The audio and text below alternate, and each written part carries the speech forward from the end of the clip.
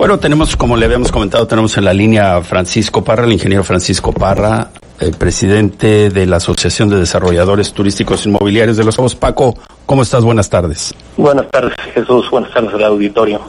Paco, pues eh, quisiera eh, básicamente centrarme en dos temas. El primero, y es evidente, este, a tres semanas, poco más de tres semanas del huracán Odín, cómo los afiliados a la Asociación de Desarrolladores ven los avances, eh, en dónde han encontrado obstáculos, eh, cómo se siente, qué perspectivas tienen de, de negocio. Tú representas uno de los sectores más importantes y directamente ligado al turismo, que es el desarrollo inmobiliario, en donde están los principales desarrollos de los cabos.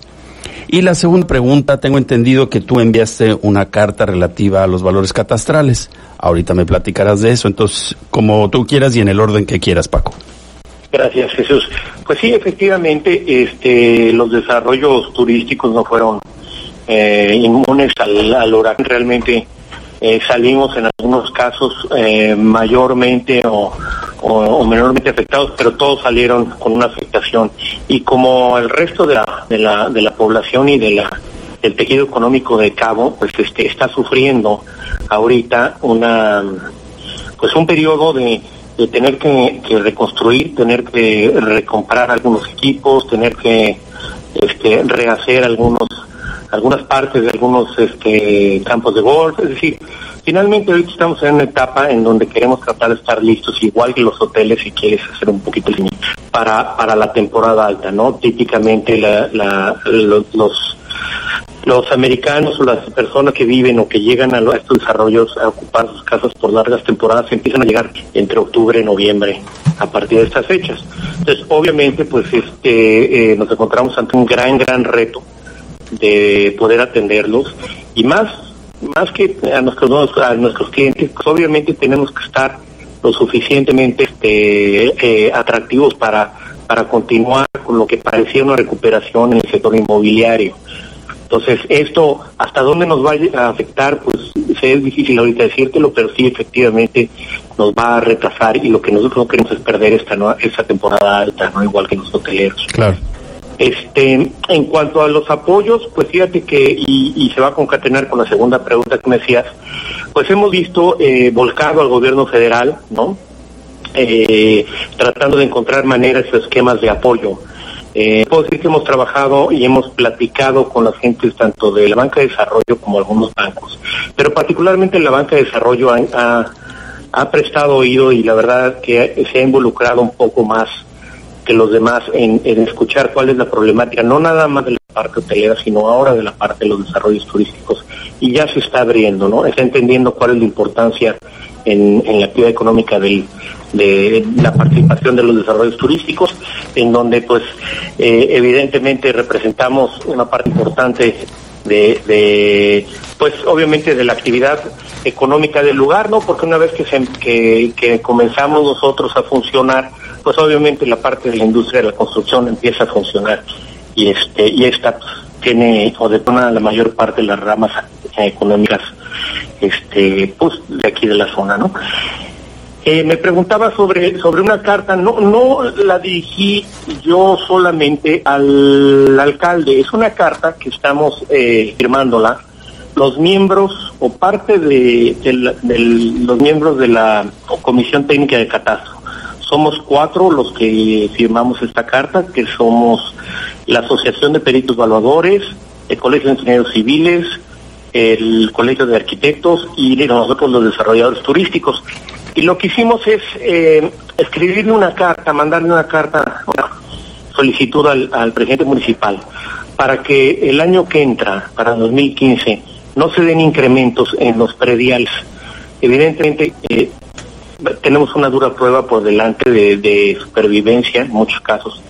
Y obviamente lo que lo que necesitamos es eh, un apoyo no un apoyo del gobierno ya lo ya lo ya lo recibimos o ya se está recibiendo por parte del gobierno federal varias esquemas de apoyo no incentivos por parte del gobierno estatal también eh, eh, está haciendo su parte y eh, creemos que el gobierno municipal también tiene que de alguna forma tratar de apoyar, porque si esto se deteriora, Jesús, yo no sé si estoy de acuerdo conmigo, pero si las condiciones económicas se, se, se deterioran, pues nos va a ir mal a todos, ¿no? Eso va a ir como en espiral Sí. y va a ser más difícil sacarlo, ¿no? Por supuesto, por supuesto, Paco.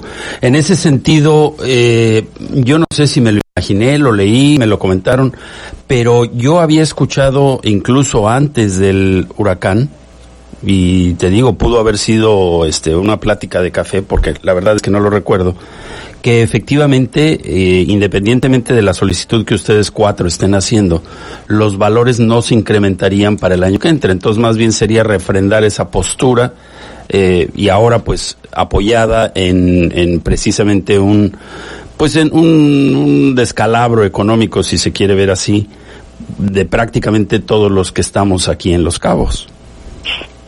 Efectivamente, mira, la, la, verdad es que no ha habido, o hasta el momento yo no tengo conocimiento de una postura oficial por parte del de, de ayuntamiento en el sentido de que no se van a incrementar los valores. Este, eh, eh, vale la pena decirlo, en, en, la Comisión Técnica de Catastro estábamos trabajando no nada más en los, en los valores eh, eh, de las zonas homogéneas de la parte urbana, sino también se estaba trabajando en las zonas eh, este, rústicas, en los periodos rústicos, y se planteaban algunos, algunos incrementos. Estos también estamos pidiendo que no se lleven a cabo. Por lo mismo que tú dices, ¿no? Necesitamos todos un empujón para volver a, a producir y ponernos de pie lo más rápido posible y entonces sí veremos más adelante en qué condición estamos. Eh, la verdad es que no ha habido un pronunciamiento hasta donde yo sé y es por eso que mandamos esta carta, porque no nos queremos quedar ahora sí que por omisión claro, o por no claro. solicitarlo formalmente, pues en una situación en que en que, que no que no va con la realidad del momento, ¿no? En donde como tú estamos descalabrados todos, ¿no? Todos hemos sufrido realmente eh, una, un percance que no teníamos planeado en nuestras finanzas en, en nuestra planeación y pues bueno, este necesitamos eh, echarnos la mano todos, ¿no? Queremos que el gobierno municipal puede hacerlo y este y que obviamente este es el canal. Le pedimos al, al presidente. Hemos tenido conversaciones eh, también con la, con el legislativo eh, estatal no con algunos este diputados que pues este han manifestado su voluntad y solidaridad al respecto, pero obviamente el canal ahorita, el canal adecuado es solicitarlo al ayuntamiento, porque es el ayuntamiento quien lo somete al gobierno o al Congreso del Estado para su aplicación al 2015. Entonces es por eso que hicimos este esta carta y la enviamos, ¿no? Bueno, pues eh, se sensibilice el cabildo, el presidente municipal y los todos las, los involucrados en la toma de decisiones y que la propuesta se atienda desde un punto de vista favorable. Déjame eh, redondear nada más porque hablabas de la banca de desarrollo y de la sensibilidad que han mostrado en el sentido de apoyarlos. Yo te quisiera preguntar si este apoyo está en el plazo, en la tasa, en el monto, en las condiciones, porque efectivamente muchas veces se puede eh, flexibilizar el apoyo, pero el efecto en el, en el flujo resulta ser pues igual o simplemente un diferimiento, diferimiento de, de los pagos que al final del día pues eh, en realidad no se refleja con apoyo. Puede que yo esté mal, puede que lo que estoy diciendo no sea así y que efectivamente haya un apoyo extraordinario. ¿Este es el caso de la banca de desarrollo en este momento? Eh, te podría hablar que de, de, la, de, parte de Bancomex, por ejemplo, tiene dos esquemas. El, ellos están cubriendo de 2 a 40 millones de pesos eh, de créditos de 2 a 40 millones a través de la banca comercial. Entonces, obviamente, pues ahí tiene un intermediario, que es la banca comercial, donde nos hemos topado con pares muchas veces en cuanto a los requisitos que te piden para darlo. Pero lo que hace Bancomex es, de alguna forma, eh, les da garantías, les da cierta seguridad y cierto confort para que ellos puedan prestar mucho mayor confianza, ¿no? Sí. Eh, luego, a partir de los 40 millones en adelante, este, Bancomex puede prestar en directo como banca de primer piso. Y, y en, en, ese esquema, por ejemplo, están muy competitivos en tasas y en plazos.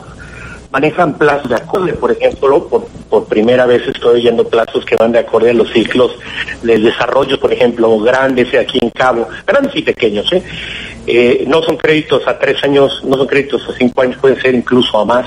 Entonces eso ya te quita el, el, el, perfil de tu, de tu, de tu de tu proyecto, ¿no? Eh, que lo tengas que, eh, que tengas un plazo mayor y la tasa, la tasa está competitiva.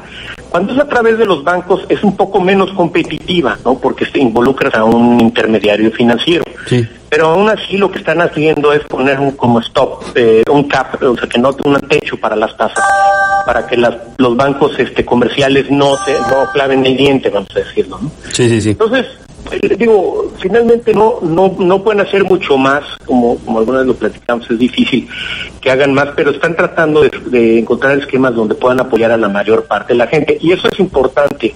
A la mayor parte de las gentes o de los negocios que han sufrido con este con este eh, huracán. Entonces, creo que es importante acercarse y platicar con ellos porque están en una muy buena disposición. Es lo que yo me he encontrado, ¿no? Este, en términos de la banca de desarrollo. Están viendo cómo si recién ayer tuvieron, tuvieron este, la Nacional Financiera una reunión con los ingenieros para tratar el caso específico de la industria de la construcción de cómo pueden ser competitivos los constructores de aquí, siendo que pues, están saliendo de una crisis, están golpeados y todo el mundo necesita ahorita eh, constructoras que les hagan remodelaciones y cómo hacerle para que no les ganen el, el, el pastel constructoras de otros estados, ¿no? cómo les pueden apoyar para ser competitivos y poder competir por esos contratos, ¿no?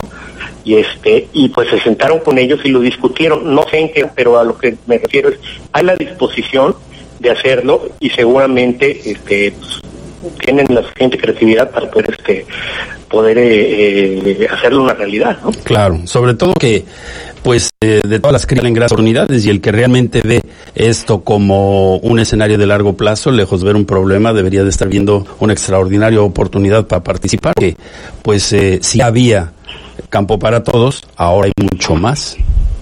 Pues sí, ahora se detona, detonan cosas que no teníamos planeado que Así se detonaran, es. pero como tú dices, pues tenemos que ver la parte de la oportunidad que se está generando este, y la fortaleza que ya se demostró de, de ponerse de pie inmediatamente y ponerse a trabajar. Y creo que eso pues, también es de reconocerse y lo está reconociendo el, gobierno federal, el gobierno estatal y el gobierno municipal. Este, eh, estamos con, con ellos tratando de hacer estas solicitudes para que también oye, ¿no? Y este, salgamos más rápido todos, ¿no? Así es, Paco. Bueno, pues te agradezco muchísimo que hayas tomado nuestra llamada. Esperamos tenerte por aquí pronto en persona en la cabina, seguir platicando sobre este tema. Estoy seguro que da para mucho y para muchos programas más. Esperamos que eh, tanto tú como tus eh, agremiados y toda la pues el sector que representas se vea en breve eh, pues eh, resarcido de todo este problema que hemos vivido. Muchas gracias, Jesús. Saludo. Gracias igualmente. Hasta luego.